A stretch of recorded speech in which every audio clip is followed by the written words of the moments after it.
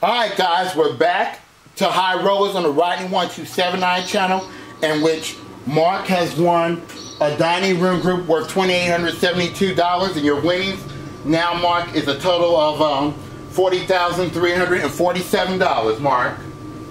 All right. And uh, guys, are y'all ready for game number two? Yeah. Let's do it. All right, let me tell you the prizes you'll be playing for game number two. If you are a true gamer, well, this inlaid Italian marble game table is for you. It contains poker, backgammon, um, checkers, pool table, all the fixings of a game table. This game table is worth $8,000. Next, we have an estate ride-on mower. If you get tired of your grass growing every every day, well, this mower is just for you. It cuts up to two feet of grass at one time. This mower is worth forty-seven hundred and fifty dollars. And if you like to design your house, you can have this Oriental rug. This Oriental rug is good for the living room floor or just for a design. And this Oriental rug is worth $9,450. So this whole board is worth over $22,000, okay? Twenty-two thousand two hundred to be exact. Thank you very much, Steve. I knew I was close.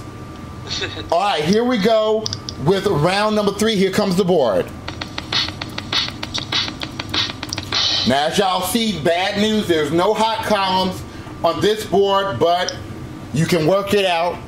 I'm sure. Okay, guys. Okay. And who moved the chat box? No more in the chat box, guys. Because I have to see the numbers. I got you, Rodney. If anybody posts, I'll let you know. Right, I'm going to put the numbers back up here. Oh, hold on. Okay, and we're ready for our questions for round number two. Okay, according to the old saying, does a stitch in time save thread? Uh, who buzzed in?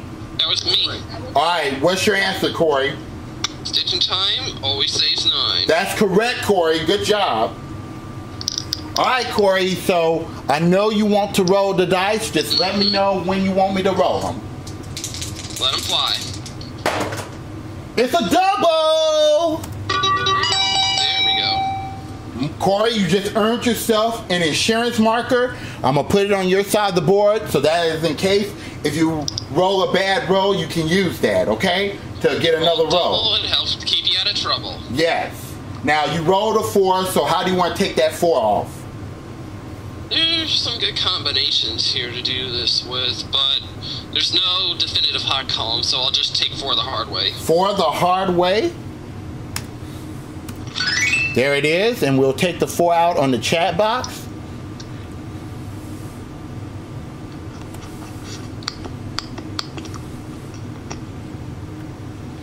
Oh, wait a minute. No, I don't want to do that because that will. Just want to take the four out.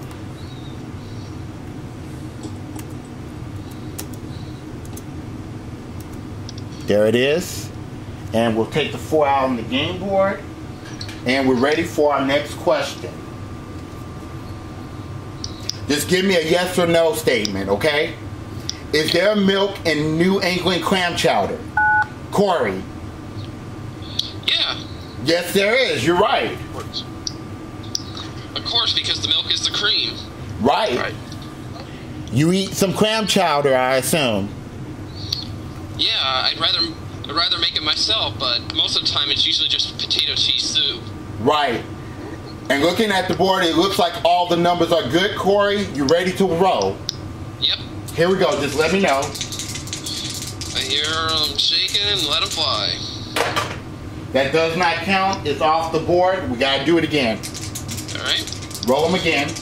They're shaking. They are flying. It's a seven. How do you want to take that seven off? Let's go the five two. The five two. Okay. Let's take the five and two off on the chat box. You got your um your insurance marker just in case if you get in trouble. Now the three is in the um the third um column, guys, just in case if y'all get confused. Wait a minute.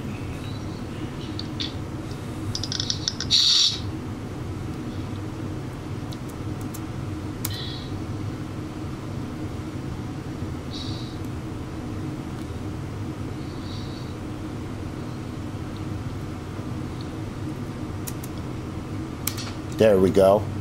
And we got rid of the um,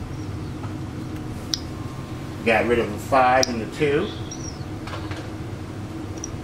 Okay, and we're ready for our next question. Another yes or no question, guys. Did film, did famed film star Greta Garbo ever get married? Corey, She did. did she? Yes.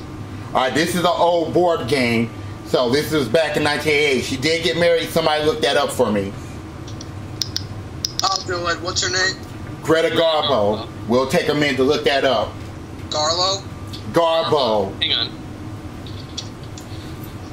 Now, if she if she did, then I'm gonna change it.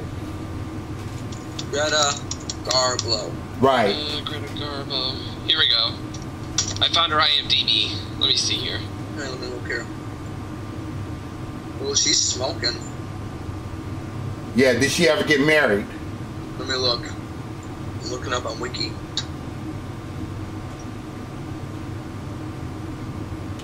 Relationships. Okay.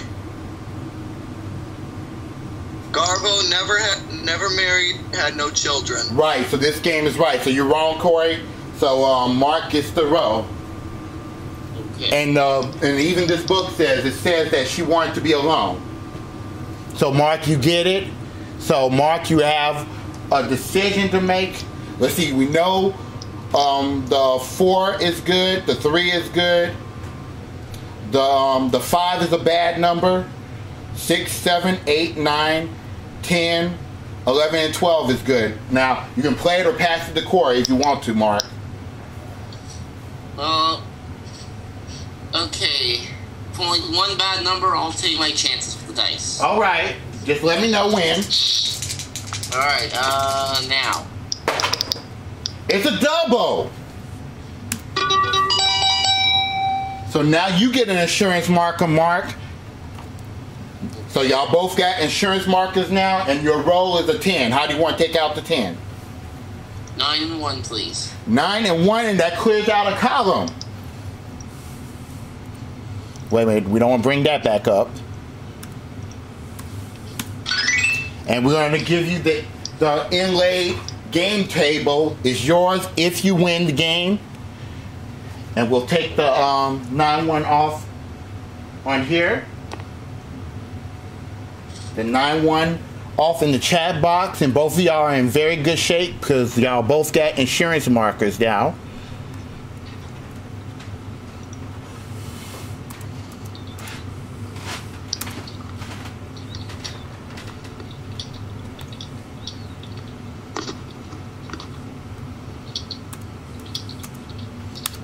All right.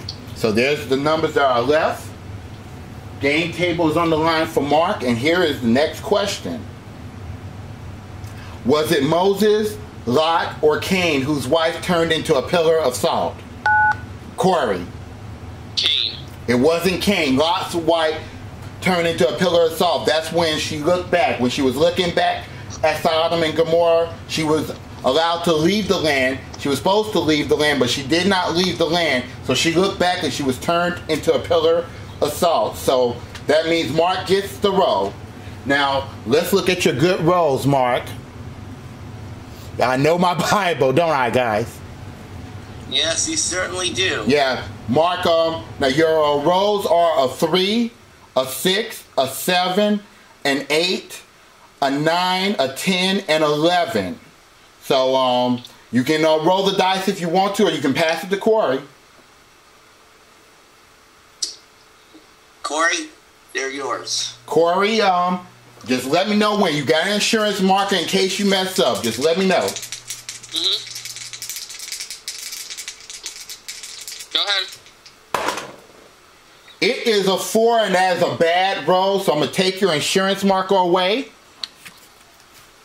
And you have one more chance at it, Corey. Now, if you mess up this time, Mark will win three times in a row. You can do it, Corey. Go for it. Here we go. It is an eight. And you cleared out a, and you cleared out the column, uh, Corey. Okay. Come on, Dag. I screwed up. Hold on. Well, no problem. I can fix this. I can fix this. Okay. Oop.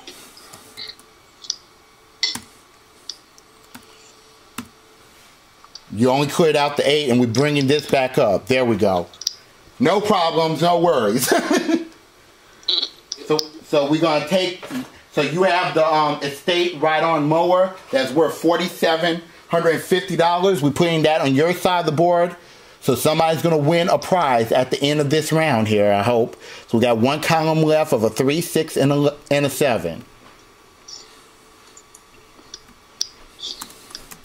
You saw that uh, snafu, Gary? What are you saying I'm eating? A snafu? Yeah, I cleared the num all the numbers off the board by mistake. Yeah, I saw that, you goofball. All right, next question. Okay, to play the popular game of hearts, do you need a shuffleboard, a deck of cards, or a pair of dice? Corey. Deck of cards. That's correct, Corey. Now, Corey, your good rolls I see are three, six, seven, nine, and ten. So you can play them or pass them. Three, six, seven, nine, and ten. You said correct. Right. Unfortunately, if I had my insurance marker, I might have attempted it, but I don't, so I'm gonna have to pass. And Mark has an insurance marker to work with. So, Mark, if you make a mistake, you can use your insurance marker. Just let me know when you want me to roll, Mark. Okay, uh, go. It is an 11, so we take your insurance marker away. And now, Mark, your uh, game table is in jeopardy. You have to roll a good number, or um, Corey will tie the game up, okay? Let me know when. Alright, uh, let's go now. It is a 7. Well, only one way to clear that out. Right, So the hard- seven itself. And we still playing this round. We got the three, the six, and the nine left. That are good numbers. Wait a minute, let me just remove the message because we're done.